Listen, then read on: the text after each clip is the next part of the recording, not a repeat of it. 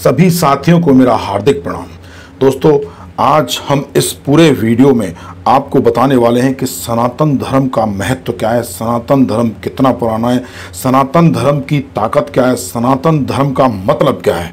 देखिए, मैं आपको इस पूरे वीडियो में बताने वाला हूँ, जो चैनल पर पहली बार आए हैं जो भी साथी वो चैनल सब्सक्राइब कर लें और बेल आइकन का बटन दबा दें ताकि अपडेट सबसे पहले आप तक पहुँच सके। तो देखिए, यहाँ पर बात करेंगे सनातन धर्म। सनातन धर्म अपने आप में एक बहुत बड़ा धर्म है। दुनिया का सबसे बड़ा धर्म है सनातन धर्म। अब देखिए, यहाँ पर मैं आपको बताने वाला हूँ, सनातन शब्द है, उसका अर्थ आपको जान लेना चाहिए सबसे पहले। सनातन शब्द का जो अर्थ है, वो देखिए, सदा बना रहने वाला। अर्थात जिसका ना आदि है और ना ही अंत है। मतलब वो शाश्वत है, सदा बना रहने वाला है। सनातन धर्म, देखिए, दुनिया का सबसे पुराना धर्म है। सनातन धर्म दुनिया का सबसे शक्तिशाली धर्म है। सनातन धर्म दुनिया का सबसे बड़ा शिक्षक धर्म है। सनातन धर्म दुनिया का एक ऐसा धर्म है जो वसुधैव कुटुंबकम की आधारशिला जिस धर्म ने रखी। देखिए, जैसा कि आप स्क्रीन पर देख रहे हैं, ओम। आप ओम का उच्चारण करके देखिए, जितना लंबा आप ओम का उच्चारण करेंगे, आपको समझ में आएगा कि सनातन धर्म का देखिए, ये जो सनातन धर्म का जो प्रतीक है, ओम आपके सामने दिखाई दे रहा है। स्वास्तिक सनातन धर्म का प्रतीक है। तो देखिए, ये सनातन धर्म के वो महत्वपूर्ण और देखिए वो पवित्र शब्द है, जिसमें देखिए पूरी दुनिया समाई हुई है, ओम के अंदर पूरी दुनिया समाई हुई है। सनातन धर्म कोई कमज़ोर धर्म नहीं है। सनातन धर्म कोई ऐसा धर्म नहीं है जो कि कहीं से आके इस धरती पर उसको प्रकट कर दिया गया हो। सनातन धर्म तब से है तब इस धरती पर मानव जाति भी नहीं थी, मानव नाम की कोई चीज़ भी नहीं थी। ये सनातन धर्म तब से है, तब से ये धरती अपने अस्तित्व में आई है। ये सनातन धर्म ही है जिसकी वजह से आज देखिए पूरी दुनिया कहीं ना कहीं टिकी हुई है, पूरी दुनिया कहीं ना कहीं देखिए आज अच्छी तरह से आगे बढ़ रही है, चल रही है, यही सनातन धर्म है। और देखिए, जिस तरह से लोग अलग अलग तरह की बातें करते हैं, सनातन सत्य को देखिए, पकड़ने की बातें करते हैं तो उनको हम बता दें कि देखिए, सनातन का जो सत्य है, उसको वही व्यक्ति पकड़ सकता है, जिसका बौद्धिक विकास हो चुका है, या जिसकी इच्छाएँ जिसकी इच्छाएँ उसके कंट्रोल में हैं। जिसकी इच्छाएँ उसके कंट्रोल में हैं। अब देखिए, यहाँ पर कुछ ऐसे महत्वपूर्ण चीज़ आपको बताने वाला हूँ, जो कि आपको जानना बहुत ही ज़रूरी है। देखिए, सनातन का पर्याय है हिंदू, सिख, बौद्ध, जैन, ये सनातन धर्म का हिस्सा हैं। बौद्ध, देखिए, अपने आप को सनातनी कहते थे।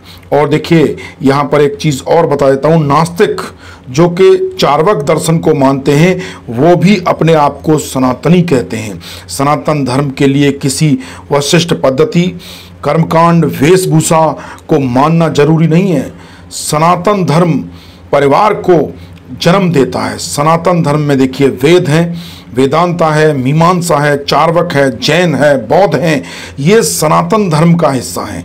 ये सब सनातन धर्म से जुड़े हुए हैं और देखिए ये सब सनातनी हैं।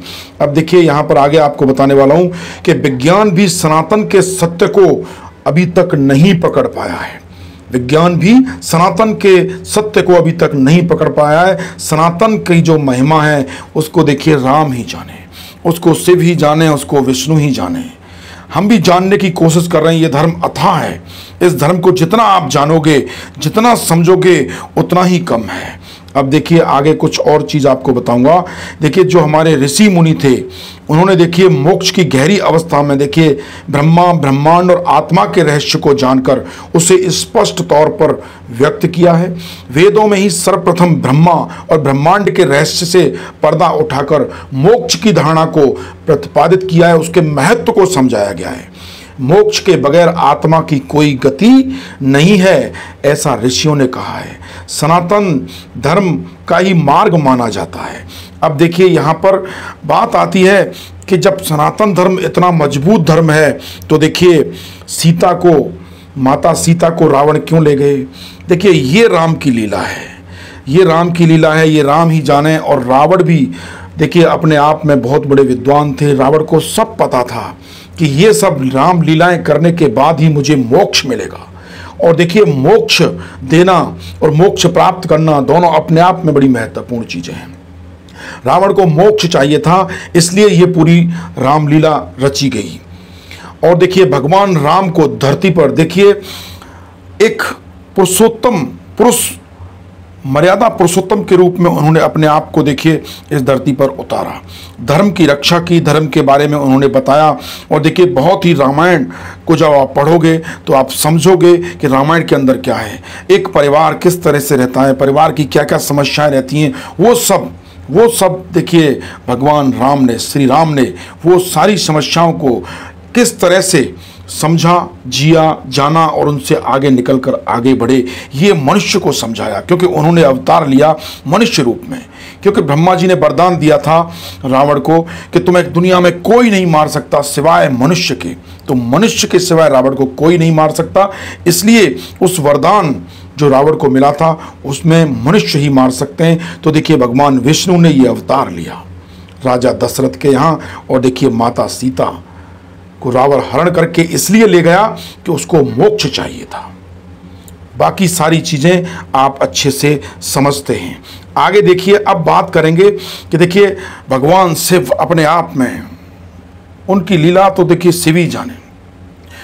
शिव किस तरह से देखिए, शक्तिशाली हैं, ये देखिए आपको शिव पुराण से जाना जा सकता है। अब देखिए, हमारे यहाँ पर जिस तरह से आपके परिवार में देखिए, एक बहुत बड़ा कुनबा होता है। यहाँ भी हमारे देवी, देवता, भगवानों का बहुत बड़ा कुनबा है। और ये होना भी चाहिए। अकेला चना देखिए, भाड़ नहीं फोड़ता। ये बात देखिए, सनातन धर्म आपको अच्छे से समझा रहा है। क्लियर समझा रहा है। देखिए, देवताओं में देखिए, चलते हैं आपके गणेश, भगवान शिव, शक्ति, विष्णु, सूर्य प्रमूर्ति ब्रह्मा, विष्णु, महेश भगवान राम, कृष्ण, कार्तिकेय, हनुमान, इंद्र, वायु, वरुण, अग्नि, रुद्र, दत्तात्रेय और देखिए यहाँ तो नदियों को भी देवी कहा गया है, पेड़ों को भी पूछा गया, पूजा गया है। यहाँ पर तो देखिए पक्षियों की भी पूजा होती है। देवियाँ देखिए सरस्वती, माँ लक्ष्मी, सती, पार्वती, दुर्गा, शक्ति, काली, सीता, राधा, महाविदा, नवदुर्गा, मातृका और देखिए जहाँ जहाँ ज़रूरत हुई, वहाँ माँ पार्वती ने बहुत सारे रूप लिए। माँ बगलामुखी। तो देखिए, यहाँ पर आपको समझना होगा कि ज़रूरत के हिसाब से, ज़रूरत के हिसाब से किस तरह एक परिवार उन चीज़ों की व्यवस्था करता है, उन समस्याओं का समाधान निकालता है। उसी तरह से देखिए, सृष्टि सृष्टि का भी एक संविधान है ये, जिसके आधार पर देखिए, ये आगे बढ़ती रही है। अब देखिए, हमारे वेद, ऋग्वेद, यजुर्वेद, सामवेद, अथर्ववेद, ये हमारे चार वेद हैं, उनके उपनिषद हैं। उनके उपनिषद भी हैं और देखिए अन्य ग्रंथ आपके पुराण हैं। रामायण, महाभारत भगवत गीता, मनुस्मृति धर्म सूत्र ग्रह सूत्र योग सूत्र आगम और धर्मशास्त्र। अब देखिए आप रामायण पढ़िए, आप महाभारत पढ़िए, आप भगवत गीता पढ़िए तो आपको समझ में आएगा कि देखिए सनातन धर्म अपने आप में पूरी दुनिया को समेटे हुए सनातन धर्म। सनातन धर्म से पवित्र धर्म कोई नहीं हो सकता, सनातन धर्म से शक्तिशाली धर्म कोई नहीं हो सकता। हम सब सनातनी हैं और सनातनी ही रहेंगे। उसके बाद चाहे ये प्रकृति, चाहे लोग, चाहे ये सारी दुनिया कहीं भी बटी हो, किसी भी धर्म में बटी हो, किसी भी क्षेत्र में बटी हो, लेकिन सब लोग सनातनी हैं। क्योंकि जब से इस धरती को समझा है, जब से इस धरती को जाना है, तब से सनातन धर्म धरती पर पाया गया है, जो कि मैंने आपको शुरुआत में बताया कि सनातन धर्म का ना कोई अंत है और ना ही कोई आदि है। तो दोस्तों, सभी प्रेम से बोलिए, मेरे साथ सनातन धर्म की जय जय श्री राम, हर हर महादेव, जय श्री कृष्ण। पूरी दुनिया ये जानती है कि देखिए रामायण में किस तरह से रामायण को रचा गया, महाभारत को किस तरह से रचा गया, और भगवान, श्री कृष्ण ने भगवत गीता को किस तरह से रचा गया। देखिए, ये राक्षसी प्रवृत्ति के जो लोग थे, राक्षस थे, उन सब का अंत करने के लिए इस तरह की योजनाएँ बनाई भगवान विष्णु ने, और देखिए उनको अमली जामा पहनाया गया। सनातन धर्म के अंदर साथियों, सनातन धर्म को देखिए, खत्म करने की साजिश राक्षसों ने शुरू से रची है और आज भी रच रहे हैं। लेकिन देखिए, ये प्रभु की लीला है, ये कभी न खत्म होता है। इसका कोई अंत ही नहीं है, क्योंकि ये है सनातन धर्म। यहाँ पर देखिए, ब्रह्मा, विष्णु, महेश, क्या लीला रचते हैं, ये तो वही जाने। लेकिन देखिए, आपको एक चीज़ इस पूरे वीडियो में समझ में आ गई होगी कि सनातन धर्म ही दुनिया का सबसे पुराना, शक्तिशाली और साफ़ और शुद्ध और देखिए, अच्छे विचारों का धर्म है। इस वीडियो के माध्यम से जो जानकारी आप तक पहुँची है, अगर वो जानकारी आपको अच्छी लगी है तो आप देखिए इसको शेयर करें कमेंट्स करें लाइक करें और चैनल को सब्सक्राइब करना बिल्कुल ना भूलें। फिर आते हैं हम, देखिए धर्म के प्रचार के लिए एक वीडियो के साथ। सनातन धर्म से जुड़ी नई जानकारी के साथ।